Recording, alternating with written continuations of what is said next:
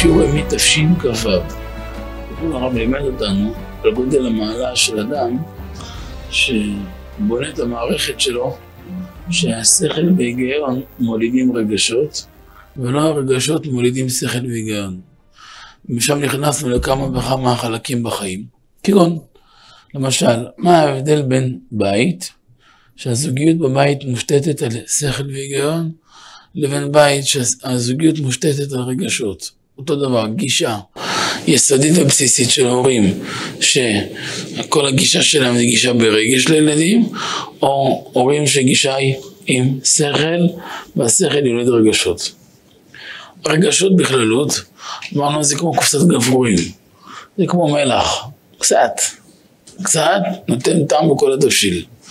עם הרבה זה נקרא קדיחת תבשילו. למה? זה מעוות כל חלק טוב. למשל, זוג שייפגש למטרת נישואין. בחור ובחורה, צדיקים, שמורים, נקיים וטובים. אם יערבבו רגשות בפגישות, קרוב לוודאי שכל המערכת תסתבן, יסתבכו עם עצמם. והבחירה לא תהיה נקייה. דווקא מן ההשלכות לכל החיים. אבל אם הגישה בכל מהלך הפגישות תהיה רק בשכל נקי, אז בעזרת השם יהיה להם ברכה גדולה. תשכון השכינה בביתם לעד, ויהיה לה משמעות יפה לכל החיים. בדברים האלו יש הכרעות לכל החיים.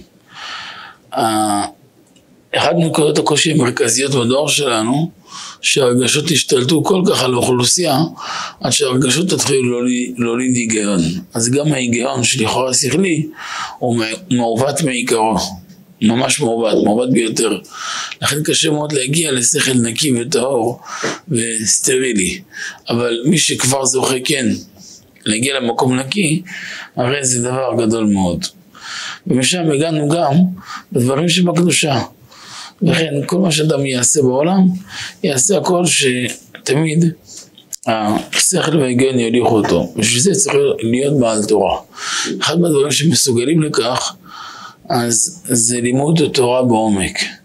יש מעלה ללימוד תורה בגרסה, שזה ריבוי הלימוד, שזה מטהר את הלב והנפש, ומזכך אותה, מקדש אותה. למשל, למה הדבר דומה? מפעל שעשו בו הרבה הרבה עבודה, המון, זה כמה וכמה עשרות של פסי איסור רציני ביותר. בלתי נמנע שאחרי יום עבודה עמוס, הרצפה במפעל מטונפת ממש. אז יש שתי שלבים בניקיון. יש לו שוברים עם גרניק, מכירים גרניק? עם לחץ אדיר של מים, עם סבון, אפילו מים רותחים, ואז ממיסים כל השומנים וכל הטינופת, מסלקים, אתה רואה ערימות, כמות אדירה של מים שחורים יוצאים, ואחר כך יש גם שלב שגם עובדים עם פינצטה, מה שנקרא קיסם אוזניים וקיסם שיניים. זה כבר משהו אחר, זה כבר רמה אחרת שנקרא. הנגלה הראשונה, שכל השחור וכל הטינופת, זה זה עם הגרניק. אחר כך השלב של פינצטה, זה כבר שלב יותר עמוק. אותו דבר גם מסיכוף וטהרת הנפש. כשאדם, ריבוי הגרסה וריבוי הלימוד, זה הגרניק. זה מתאר את הנפש מאוד. מפריד הקליפות מהנרן של האדם. ומכשיר אותו לאט לאט להשגה, להיות כלי קודש, להיות האדם טהור בכל עת. כמו שאמר מר רבנו ארי למערכו, תראו בהקדמות.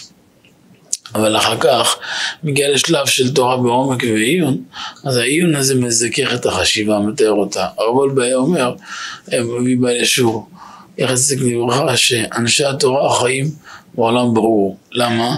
שהלימוד בעיון מוליד שכל מזוכח, וזה מזכך את הנפש, מטהר אותה. ולכן לא עם הארץ חסיד, אי אפשר מתוך השערה של שכל עקום. מלא סבון להגיע לידיעה אמיתית. ידיעה אמיתית זה צריך עמל והגיע ועמל נכון. אבל הבסיס של כל העניינים האלו זה לא הלימוד גרידה לזה, הדבר שהוא מביא ללימוד. היחידים זה ללימוד שזה יראת שמיים.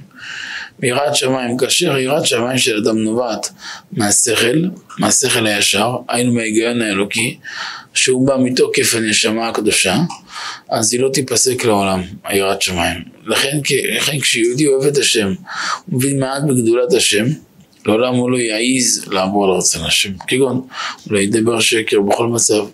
אומר רבי נחמן, שקר אחד דוחה מאה פרנסות. זה משקל גדול. אבל לא בגלל זה הוא לא ידבר שקר, כי הוא יפחד, יפחד מאוד מארבע כתות שאינן מקבלים פני שכינה, אחד מהם סימונם חשמל, חלפנים שקרנים, ליצנים לשון הרע, פחד פחדים. כשיהודי באמת אוהב את השם, מבין מעל גדולות השם, הוא לא יבוא רצון השם, הוא לא ישקר, הוא לא ידבר לשון הרע, הוא לא יפגום בעיניים חס ושלום, גם יעברו לו את העיניים, הוא לא יפגום בהם, הוא לא ייגע באישה, גם יסכלו אותו באבנים, כי הוא אוהב את השם, תוך שהוא מבין מעט בגדולתו, ולגדולתו החקר, ואפילו מעט מן המעט שבמעט, להבין בגדולתו, אדם לא יעז לפגום, ואימא גם, גם בשום פנים ואופן. ואין לך דבר שמבייש את הנפש, אבל באמת בושה שאדם מוכן למות בעבור הבושה הזאת, כמו ההכרה בחטא, שאדם מבין איפה הוא פגם בחטא, זה פחד פחדים לאיפה אדם מגיע. רבי נחמן כותב, רבי נתן, תראו, אני כותב תפילות הרבה. אם אדם יודע פעם אחת בשבעים שנה קצת, טועם עם רעות, טעם של העוון, היה מוכן למות אותו רגע, רק לא לחוות את זה. תראו, מילן גדול מדוננו המלך דוד, היה כותב פוסטרים. דוד חטא, דוד חטא, כל מיני דברים, חטאתי נגדי דוד. עשה חשבון, לא, שום דבר, שום אבא אמינה של טעות. אבא תמיד היה אומר בשם הראשונים, רבנו יונה ועוד, שאצל הצדיק, אור החיים הקדוש, אצל הצדיק יקשה בעיניו חטא קל שבקלות, למה שיפריד בינו לבין השכינה יותר מחמורות שבחמורות. כל דבר קטן שאולי יבדיל בינו לשכינה, יקשה בעיניו יותר מכל מחיר. אין מחיר לעולם הזה ליד לחלוכית של יראת שמיים, לחלוכית של קדושה, של טהרת הלב, של קרבת השם. אז אה, מה יש, להתפשר, מה יש להתפשר על דברים אחרים? יראת שמיים כזו שבאה מתוך שכל, מתוך היגיון טוב, עומדת לאדם כל החיים. וזה מה שאני צריך לשאוף, להגיע ליראת שמיים שכלית. יש מה שנקרא פוטנציאל. כלומר, דבר שהוא פנימי, כמו שאמר בעל התניא, שכל יהודי יש אהבה טבעית לקדוש ברוך הוא. זה נקרא אהבה מסותרת. כשמה כן היא, היא פנימית ומסודרת. צריך להוציא אותה ולגלות אותה מהכוח אל הפועל, באופן שאי אפשר להשתמש בה. לא רק שהיא תהיה חביבה בתוך ליבו של האדם, בידי זה אדם מגיע למצב שיעבוד את השם ביראה באהבה כראוי. אחת הדרכים לכך, לזכות לזה, ליראת שמיים שכלית. נובעת מתוקף השכל הטהור שבא מתוקף הנשמה על ידי לימוד בספר יראה, כמו הספר הקדוש ראשית החוכמה, ספר מאוד עמוק, ספר קדוש מאוד, מלא מסרים נפלאים. אדם שלומד אותו בעיון כל יום חצי שעה, שער היראה, שער האהבה, שער הענווה, שער הקדושה, שער התשובה וכולי. יראה שכל פעם הוא ירצה לצחצח את הנשמה שלו ולהחזיר אותה בבוא הזמן נקייה, נקייה וטהורה בלי דופי. האדם שלומד את הספר הזה לעולם לא יישאר בעל חטא. אה, בשלב מסוים גם הבחירה משוללת ממנו. הרבה אנשים שהיו קצת חדשים בירד שמיים אה, היו לומדים בספר הזה, השם עזר להם, הקביעות הזאת. כתב מרן החידה בלב דוד, העוסק בתורה ובמוסר רבותינו כגון ספר הקדוש ראשית החוכמה, בנוי לבני כסף, מדרשי חז"ל, ספר הזוהר הקדוש, ודאי לימוד זה עושה נחת רוח ליוצרו. כי הוא עוסק בתורה וגם לומד מוסר לאחני היצרו. ואני שמעתי, בגדולי ישראל יושבי כיסאות למשפט, עוסקים בעבוד דבי ורבה, להבין ולהורות, שהיה להם עת קבוע לימוד הספר הקדוש, ראשית חוכמה, הם הצדיקים, כי היה גם שהיא עוסקים בתורה בכל כוחם, הוסיפו להתקדש בלימוד הספר הקדוש, ראשית חוכמה, מקדש האדם, ודבריו חיים למראה נפש. עוד כתב שם בעבודת הקודש, במורה באצבע, ללמוד בספר מוסר תדיר, ואשר מי שיקבע לימוד בספר קדוש ראשית החוכמה, מי שמכיר פחיתות מעשיו ותוקף חיובו, ויום יום יתבונן בענייניו. אני זוכר שפעם היה יהודי חשוב שהיה מאוד רחוק. היה נושא משרה מאוד מאוד חשובה. והיה ממש רחוק, רחוק, מזרח ומערב. והזדמן איזושהי אזכרה. לפני הרבה שנים, קרוב לשלושים שנה. אבל אני זוכר את המאורע הזה. והוא הזדמן שם, מצד, נטו מצד כבוד למשפחה, שהוא גם היה קשור באנשהו באחד מהבנים. והיה שם שבעה של אביהם, משהו עימם. ואבא שלי עליו השלום הרב היה שם. אז הוא לא היה דרכו בשיעורים, מדרשות, אבל האזכרה זה אזכרה. הוא שמע כמה דקות שאבא דיבר, ודברים חדרו בטן. שאבא יצא לאוטו, אז הוא לחץ לו יד. ניגש, אבא הסתכל לו בעיניים, ואמר לו משפט אחד באוזן. אמר לו, אתה צריך ים של תשובה. הוא בעל מעשה סיפר לי. מאותו רגע הרגשתי פחד, השפלתי את העיניים באדמה. אמרתי אמת. עשיתי לרב סימן ביד, איך? הרב אמר לו שתי משפטים. מהלילה עד, עד היום שיקח אותו השם בגיל 120 מהעולם. כל לילה באחד וחצי נגמר הלילה שלך. אתה קם ברכות השחר, תיקון החצרות הקדמות, גמרא, הלכה, וספר ראשית חוכמה לא ירד לך מהיד לעולם. עשה לו סדר לימוד, ומאז עד היום לא פספס אפילו לילה אחד. חול, שבת, אחת וחצי, בום, נגמר. הייתי בחתונות של הילדים שלו, הייתי בכל מיני מאורעות, הכל טוב. אחת וחצי, התחלף המסך. ישן, לא ישן, לא משנה מה. לילה אחד אני זוכר, הוא התווכח עם איזה תלמיד חכם באיזה סוגיה אחרי ערבית, עד אחד וחצי. אחד וחצי השתנה הסליל, זהו. מקווה תיקון חצות, ככה ככה, בום, הלך. הוא נשאר איש עסקים, הוא נשאר בעל בית, הוא נשאר עמל לפרנסתו, ואני מברך כל אברך תלמיד חכם שיזכה לדעת מה שהבעל בית הזה יודע. משתלם לכם להגיד אמן בכוונה, כי, כי אתם לא יודעים בממדים האלו, גם תקפסו. לא, זה לא שפה של רגילים, אנשים רגילים לדעת. אבל אתה רואה שסיכוך הנפש ותשובה שלמה, תועיל מאוד להשגה, ממש. זה בעינינו ראינו, עינינו ראינו ולא זר, זה לא סיפורים. אפשר לומר עליו תמיד החכם אמיתי. איפה שתזרוק אותו, בכל סוגיה שתפגע בו בש"ס ובפוסקים, הוא, שוחה משם כמו אריה במסתרים, אבל הוא שוחה משם בעוצמה רבה מאוד, לא, לא ראינו הרבה דברים כאלו.